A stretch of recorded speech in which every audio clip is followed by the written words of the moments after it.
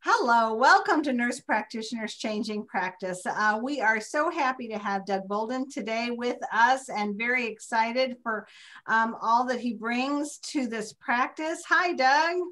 Hi, Doug. Hi, how you doing? Hi, so, ladies. Nice to see you. So Doug is one of the initial investors in IMAC. I, I'm, am I saying that right? IMAC? Yes, yes. IMAC, IMAC and it, it stands for um, innovative medical advancements and care. Okay. So you're kind of pioneering some really exciting technology uh, with the orthopedics and options that um, nurse practitioners can um, maybe offer their patients. So tell us a little bit about how you got into this and, and yeah. everything that's kind of gone around it. Sure. Well, it uh, it was the culmination of of many years of uh, being frustrated with uh, becoming a uh, a button pusher, as I call it, or um, part of the traditional flow of medicine in today's world, where it's important to keep the patient sick all the time. And I struggled with that, and whether or not that really made sense.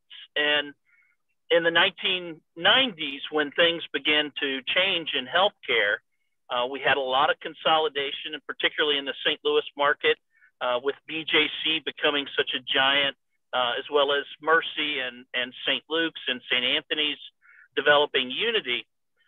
Those entities gained so much power, and so many medical providers, physicians included, lost a lot of their independence yes. because everyone was focused on just doing what Medicare or insurance paid for. Yes. And mm-hmm. so consequently, we started to have to meet all of these guidelines and criteria for Medicare. And it did make a lot of us button pushers. It was so important to get all of that clinical data to Medicare that everybody had had their flu shot, their pneumonia vax, that everybody had had all of these specific sentinel things checked off of a box. So, you know, with the advent of electronic health records, all of a sudden, it seems like we lost our, our focus on communicating with patients, putting our hands on patients, and we were required to hit all of these buttons and these check boxes in that electronic health record so that whoever we worked for got paid the maximal amount that they could get paid for. Right. I'm all about that and I understand that, but it was frustrating. And so it drove me to start to look at options. So when you, when you say options, Doug, um, you know, as a nurse practitioner, I, I practice in primary care and uh-huh. um, I know what you're saying. I mean, I have to do certain things in my visit and in my documentation uh, to get to get paid, right? Right. It so you, um, it won't even let you advance unless you've checked all the boxes. Right, right. Exactly. And we're when we're all about treating illness, you know, I mean, yes.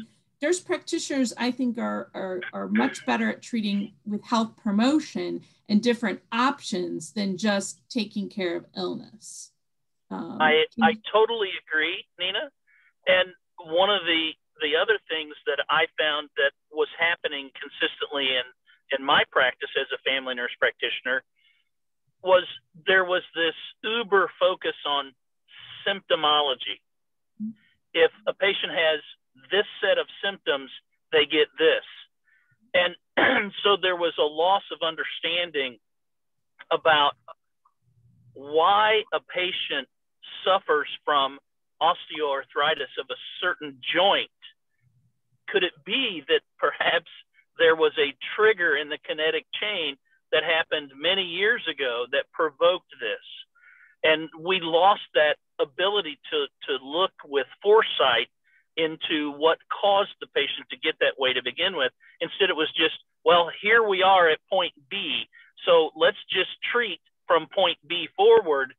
Let's not pay attention to all of the degenerative processes that have occurred the years before that. And so that was that was frustrating for me as well and that's the major portion of the motivation for me to look outside of the major healthcare systems for something that's, different What yeah, I mean, our options are what? Non-steroidal anti-inflammatories, physical therapy, weight loss, and then eventually joint steroid injections. Steroid, steroid injections. Oh, right, steroid injections. There you go, Carol. Steroid injection, and if that doesn't work, you come back and do another steroid injection. Right, right, and right. and all of my pain management colleagues will speak to this, and and they'll oh, say, "Oh yeah, you know." So well, yeah, yeah those steroid injections are expensive. And quite honestly, I personally, with the patients I've treated who started down that path, sometimes you would see a benefit. You know, they might get some relief for a while, but the, it, it turned into a cycle where they they would go more and more often until eventually they had surgery. And there's risk to those steroid injections. There's risk, you know, can really degenerate yes. the joint and build up scar tissue, right? And so, and we know that now. Yeah, we know that now, don't we? So, what made yeah. you decide to invest in um, IMAC? Yeah. Well, it's it uh, it, it's it wasn't a simple knee jerk reaction. I'll tell you that much. Um, it was that that same process that I spoke to just a few minutes ago about just trying to find a different way to feel like I was contributing to the health of my patients. And I met these guys. They had established their practice in Paducah, Kentucky. And our company was actually founded by a chiropractic physician who realized that there were certain limits to his ability to improve patients. And he suffered with some frustration as well. So he saw that when physical therapy was added to the mix, patients had better outcomes.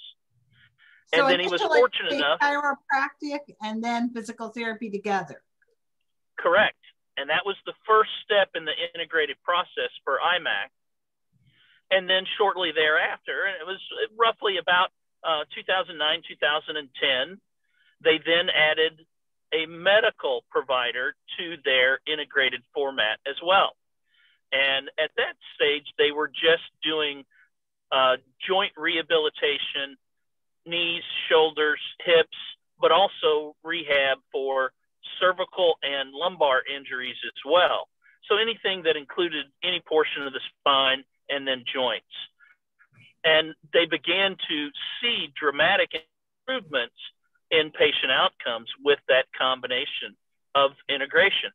And that's where IMAC was born. And since then, we have moved on. I met these guys in 2014 and realized that this was a very unique practice model. Nowhere in my experience of over 23 years as a nurse practitioner, 32 as a nurse, had I ever seen a practice that integrated physical therapy, chiropractic, and medicine all in the same facility. That is unique. And the, That's great. That's so unique. It's very unique. And probably one of the most unique facets of the practice was that everybody checked their ego at the door.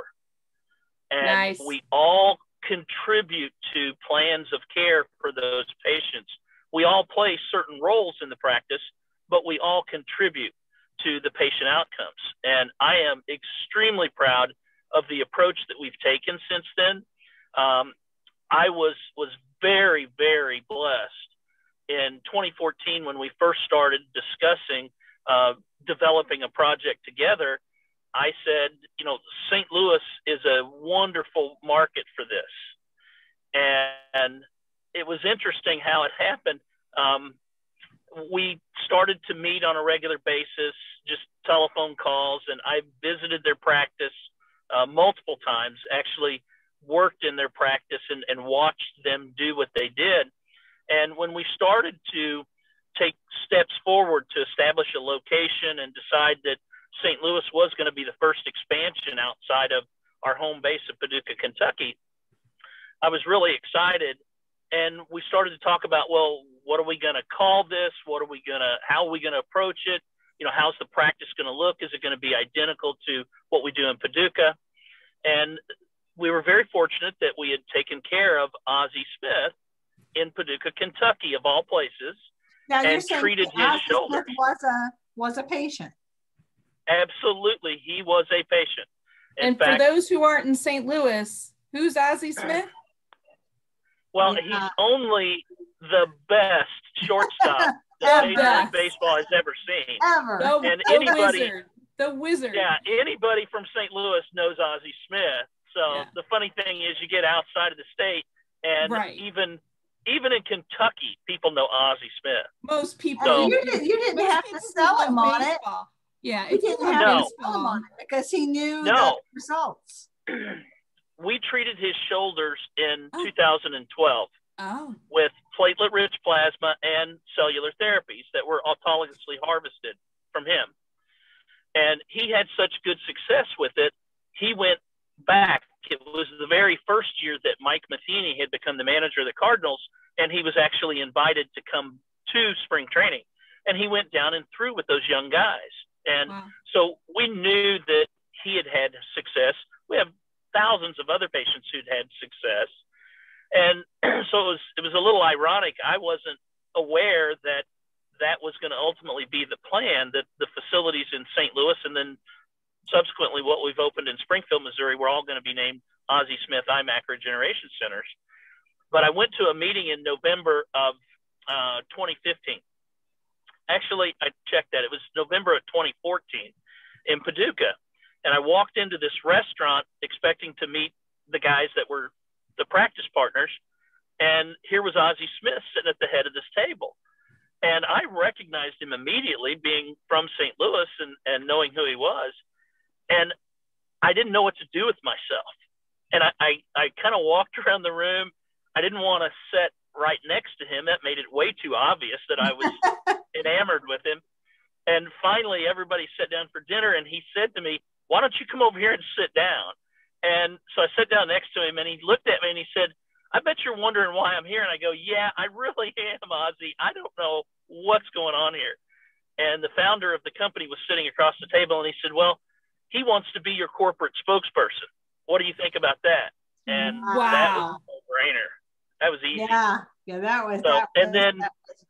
A little more irony to add to the mix was in 2016, April of 2016, when we opened our doors in St. Louis. We were about two weeks from opening, and we had all of our equipment in. We were set to go. Our staffing was all set to go. And Ozzie is an avid, avid golfer, and he traded baseball for golf, and he plays golf on a regular basis. And he unfortunately herniated a disc, and I'm not sharing anything HIPAA related, so right. don't anybody send me any emails. Exactly. He, he lets you. us talk about this, so please, everybody, settle down. but um, he herniated a disc in his back two weeks before we opened, and he was hospitalized and there was neurosurgery consults. Everybody was trying to talk him into having surgery. And he was very honest and said you know what? I've played baseball with too many guys who've had back surgery and now can't function. I'm not going to do that. I'm going to let my guys take care of me first. And we did so and i am proud to say that to this day he has not needed back surgery and we wow. continue to treat him on a wellness basis and the guy plays golf three to four times a week. Wow! And he's one of our he's one of our best success stories, along with thousands of other patients. So, well, and you're doing research too, right? We just uh, recently, this past year in 2020, had our first FDA-approved clinical research study to establish the safety and efficacy of umbilical cellular therapy in regard to Brady dyskinesias. Wow. So patients who have Parkinson's disease and other hybrids oh, wow. of, of Brady dyskinesias. And it's a safety study. It's only 15 patients, and we are enrolling them across all our centers across the Midwest. And so far, we've treated five patients.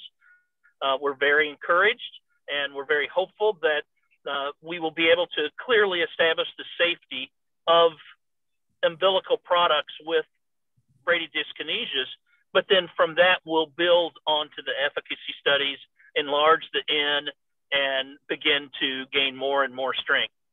Wow. So now you do the plasma enrichment therapy, and I understand that you take blood from the patient yes. like a transfusion, like a you know, like they were donating their own blood, right? And then you you spin that down to get the plat the platelets, and that's yes. what we injected back.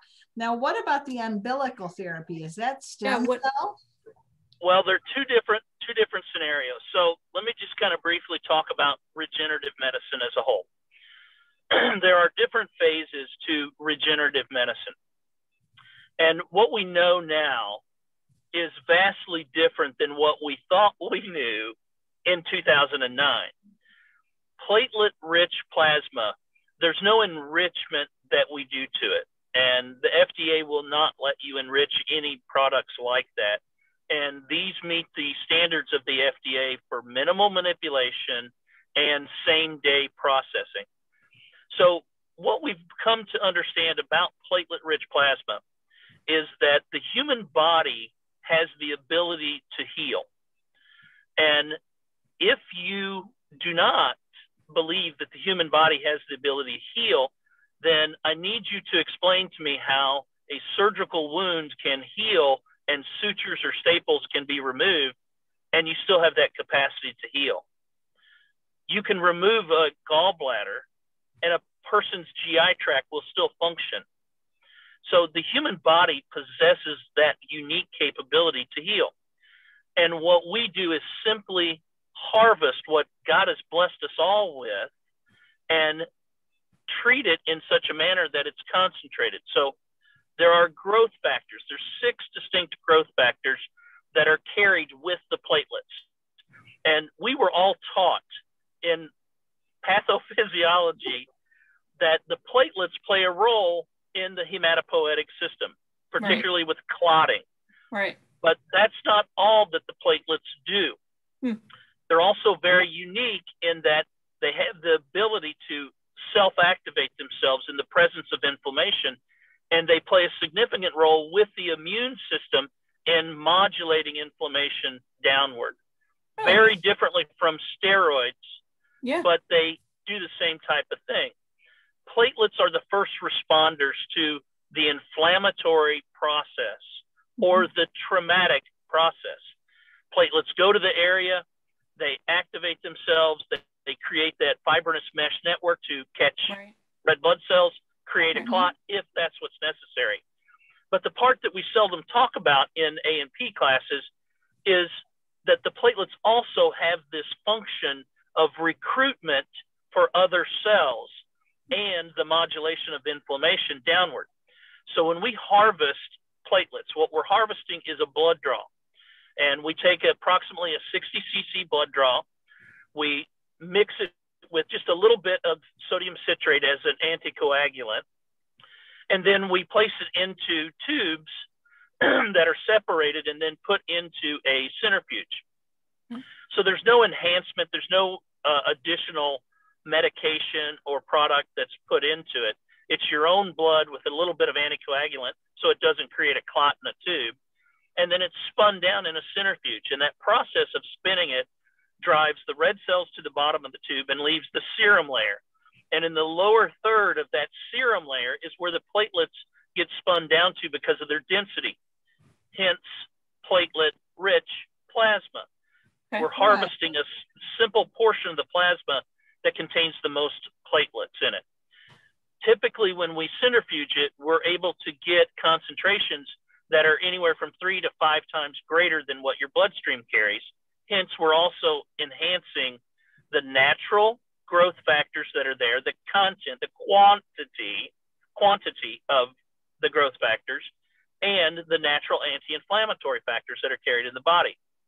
Now, those cells because of the way that they're harvested, processed, and then immediately re injected back into the patient, behave the same way as if your immune system had dispatched them to that point. Oh, wow. So they get to the inflammatory regions, they recognize that inflammation, and they sense it and they open up and release and grow, dump all those growth factors in the area. So it's a very useful process the body of literature has grown exponentially. In 2009, I could have found you a stack about that thick. Today, that stack is well over my head and has been published in multiple peer reviewed journals. And we know that it is a valid and useful therapeutic modality. So the And next question that also most seen- people, You've Yeah. seen patients that it's benefited from. I mean, you've Right. there's, come there's no in doubt. and you, Exactly. There's no you doubt. know, when you see it and you see it works, you you know this is something that works, and nobody can take that knowledge from you. You've you've you've watched it. But I bet That's there's correct. people that doubt it, right? And say, oh, is that some new age thing? Can you speak to that? Yes, I can clearly speak to it. And part of that is because of the way that our healthcare system is set up. The vast majority of us that are consumers as well as healthcare providers, we only think that if your insurance pays for it, then it's a valid therapeutic modality. Ah, And then you know what, you hit the nail right on the head there. That is so Stop. true. And so, but you know what? I can speak to that right now. I can say, I can tell you the benefit of massage on a weekly basis is probably better than Ativan. Oh, definitely. And most people would say, yeah, insurance doesn't cover massage therapy, but it has a relaxing effect on you. So, of course, but you're right. We don't think of valid medical procedures if insurance doesn't pay for it. That's Nope. it. That's it. And the other side of that coin is as providers, we're all programmed to only discuss with patients What those modalities which Right. are covered by insurance, which Right. is not Which- the right way to think about things, Right. particularly in this format. Now, don't get me wrong. I am not advocating that if you have coronary atherosclerosis to the point that you have chest pain every day, that you should not seek care. That's not what I'm saying. But think about the modalities for coronary atherosclerosis that were here in the 1980s. Mhm. Carol, when we were nurses fresh out of nursing school, we didn't have the kinds of stents that Oh, exist no. today. A, a, a wonderful example is vascular surgery. Yes. How many vascular surgeons today still do open procedures? Well, Mm-mm. Uh, if you're talking to a vascular surgeon that's under 50 in age, Nope. those guys are doing They 80% probably haven't even heard it. procedures Yeah. endovascularly. Endovascular. Yep. Yeah, my, my point is that technology has changed, evidence grows, and we know that what we thought was true about certain treatments and therapies has changed dramatically. And with regenerative medicine, so many providers, whether they're orthopedic pain management guys, it doesn't matter. They were programmed so many years ago to only offer what insurance covers. So, you know, when we're dealing with patients, there's a lot of times where, you know, I get pushback from patients who say, well, I went to my pain management doctor, I went to my orthopedist, and they said what you do really doesn't work. So then I have to say, well, okay, let's review. So you've had a lumbar decompression laminectomy, and you went back three years later and you had two vertebrae fused with rods Oh, and screws. Oh And now- Three years later, you're back with the same exact pain. So how does So that did help it you? work? How did it work for you? yeah. Exactly. Yeah. I mean, we're not And going in the right direction there. Where, Correct. So it, do- it takes a lot of education. absolutely. Where so where do you think this will lead? So if you get I mean, I'm assuming if you're doing these trials and you're getting FDA approval, And that would lead to more acceptance, quote unquote, um, and and uh, validation, and eventually, hopefully, unfortunately, it always comes down to will insurance hopefully pay for it? Yes. Is that And- is that what you're thinking? Expensive. Has to Well- be better cost wise. It, it is, but here's here's how you have to think about it. And this is a battle that um, many of us at IMAC have have tried to battle for some years in trying to convince insurance companies to look at therapeutic modalities like platelet rich plasma, cellular therapies, even the integrated processes that we offer, uh, trying to convince them that they do have a valid place. It does take time. Nothing happens overnight. But ask yourself this question if patients knew that they had a choice that was surgical versus non surgical, how many of them would exercise a non surgical option before they chose the surgical option? Many, many, many patients. I mean, I, I don't see downside so, to trying it. Yep. So now it becomes a math problem. Who pays for most of our health care in the United States? Well, it's insurance companies. Unfortunately, it's insurance Correct. companies. So, you know, they're not dumb. They know their statistics, they know their numbers. And I'm not saying that insurance companies are bad. We all need right. them. Otherwise, right. we would we would change dramatically the way that healthcare is delivered. And, you know, frankly, there are a lot of countries that that you know, the cost of healthcare is significantly less, but those are socialized medicine countries. And we are not that way in the United States currently, and we have lots of choices. So, um, well, and you have just, patients. It's, it you takes education. Patients. So even though the insurance yep. company may not be paying 100% of it or any of yep. it, I mean, you obviously still have patients and they're coming and they're coming back. They are because of the they've outcomes. Decided, they've decided that it's worth their investment. They have more movement and they've been able to afford it in some way. I, am assuming you don't treat just all the rich people. I was just going to say, is no. it, it uh, there, no. are there options for patients who don't have the income for this? Because we always worry as nurses and nurse practitioners. And yeah. I'm just asking that. I mean, I, you know, I, to me, it sounds like, wow, this would be great. And I'm lucky to have the expendable income to come to you, right? right. But what about Correct. someone who needs it, who we want to refer to you or refer to your center who don't have the means? Who don't who don't have the expendable income to be able to do this?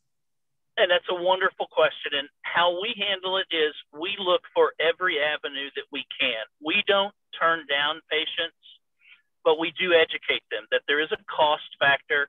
And, you know, nobody stays in business right. if you give everything away for free. And, you know, I, I want to address this to the young people out here who say things like, well, gosh, you know, if if they were going to to BJC or Mercy or whatever, you know, they would do their care for free. Well, if you think, if you really think those big healthcare systems will do things for free, uh, you need to kind of get a different perspective because nobody can give away care for free and stay in business. No, it, it comes out. Although somewhere. those well, yeah, but those systems are all not for profits. And there's no taxes that get paid in those scenarios. And those facilities benefit from the ability to not have that over their head. So they can have some charitable cases. We work very hard at making our products affordable for patients and helping them find ways to pay for it, including payment plans and stretching yeah. things out. And the other part of this is that oftentimes for our types of practices, patients get the impression that they have to pay for everything. And our integrated focus, the vast majority of what we do is covered by insurance. Yeah. Your physical just the regenerative things. Yeah, absolutely. Yeah, that stuff's yeah. all covered. Yeah. And that's still good therapeutic medicine. Absolutely. There's nothing so, wrong so, with that. Yeah. So it sounds to me when you say integrative medicine, it's not just this therapy you're talking about. It's integrating no. with, with act with, you know, if you will, the guidelined medical treatment that's available in the United States and right. added right. integrative therapies uh, with your, I guess you want to say, traditional medical interventions. Is that correct? Absolutely. Yes. And we call ourselves, a lot of people ask, what kind of practice are you? And we term our practices as regenerative rehabilitation clinics okay. because that's what we do.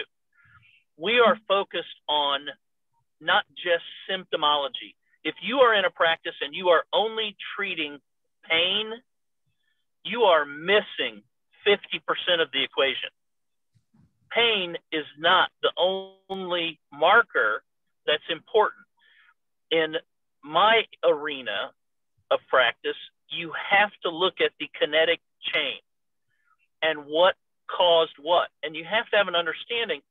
The human brain is a fantastic computer, and it is constantly sorting through data that is fed back upstream through our nervous system. And it makes adjustments to our balance, our gait, our stability, and it never sends you an email and tells you that it's doing it. That's why patients who have low back pain often end up developing hip issues or knee issues because it changes your gait and vice versa. You have knee issues and hip issues, you're going to ultimately end up with low back issues. Yeah. Sure. Yeah. You know, one of the most interesting things to me as I began to learn more about regenerative medicine and, and how our practices worked was the amazing number of patients who would come in with disc disease in their low back, but would turn out to subsequently have disc disease in their cervical spine too. And we somehow like to think in medicine that everything exists in a vacuum. If you have a knee problem, you have just a knee problem. And it just needs to be replaced, which is not the reality.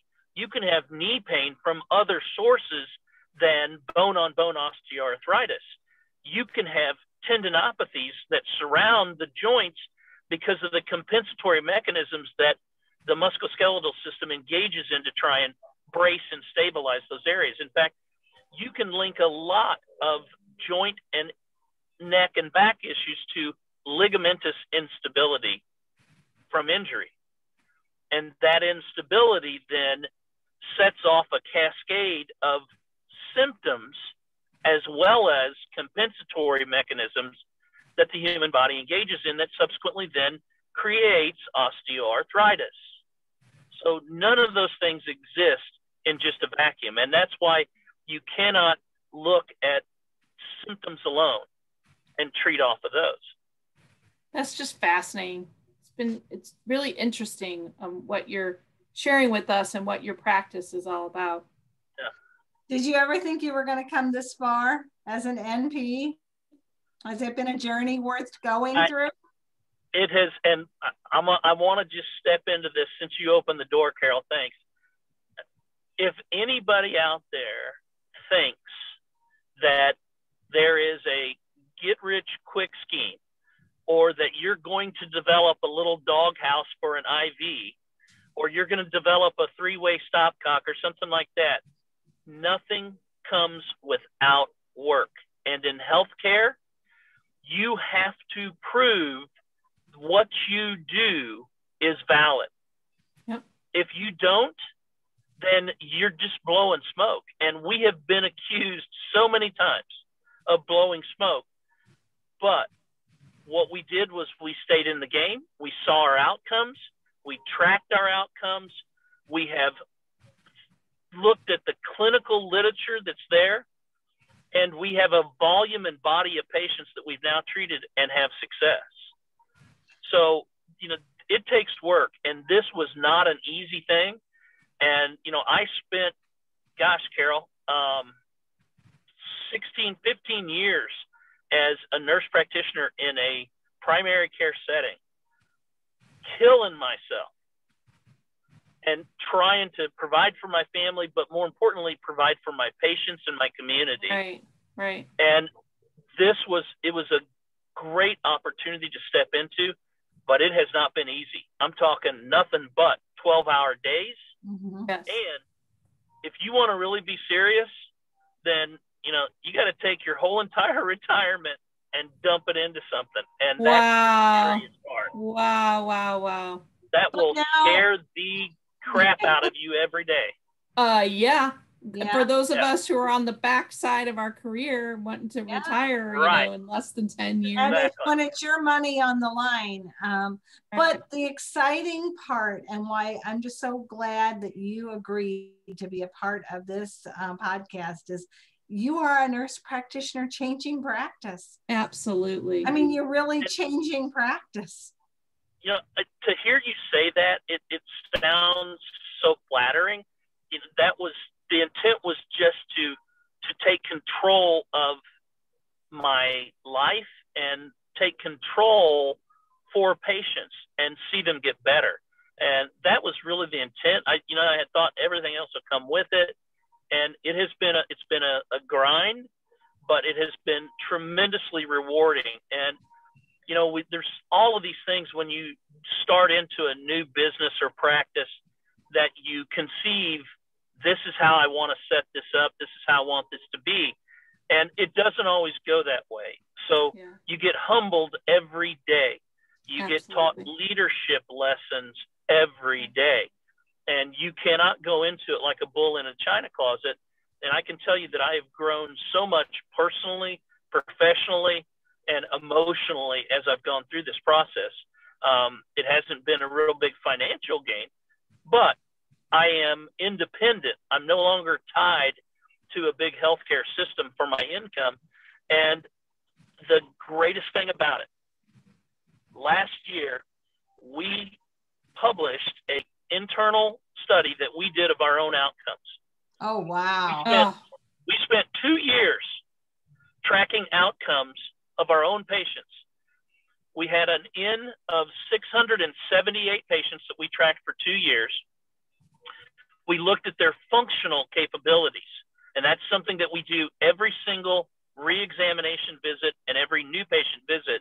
We have the patients fill out functional scales for their back pain, their neck pain, their extremity pain, knee pain, whatever it may be, so that you can track them functionally and see that they're improving.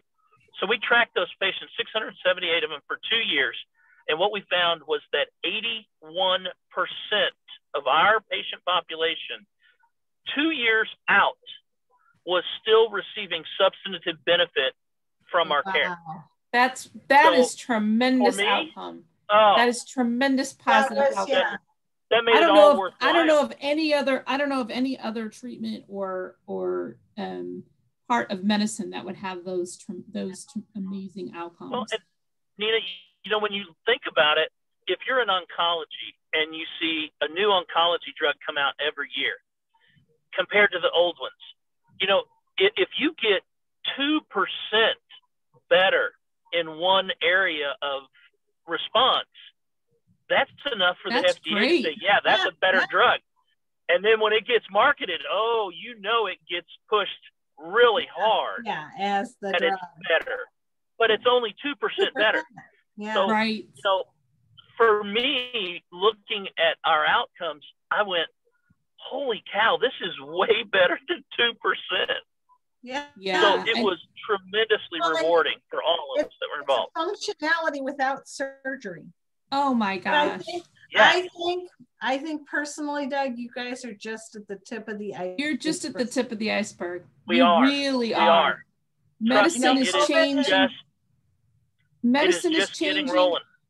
And yeah, patient I mean, patients are consumers yeah patients are consumers. Yep. they want to get better and they don't um they don't you know the thought of surgery and the potential complications of that um you know patients are really looking at all our alternatives. I i see it in my patients you know in in, in primary care and uh, occupational med that i'm um, in right now. I see it. Yeah. Um, i see it in my family members you know.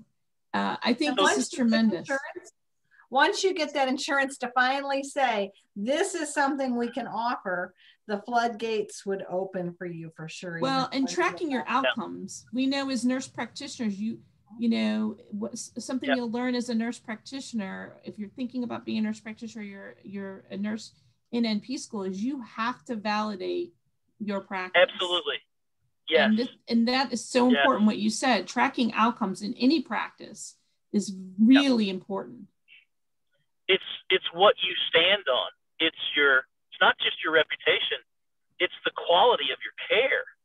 And you know, there's the paradigm shift. So let me present this to you. How do most typical physician practices have patients enter? And I'm not talking physically through the door. It's typically by a referral. Referral. Pattern. Yeah, that's right. true. Referral. Right. So we don't have those typical referral patterns. I would love to say that we have all of these ingrained referral patterns, but we don't. We have had to go out there and battle the marketing world with social media, with print, with radio, TV, all of those aspects, with doing dinners to attract patients, to just yeah. educate as to what our service. I can't tell you the number of times that patients have said